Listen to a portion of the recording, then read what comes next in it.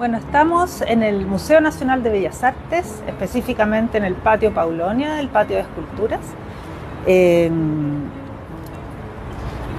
y este es un lugar que eh, las personas pueden visitar, ¿cierto? Las personas pueden visitar planificando su venida a través de la página web del museo.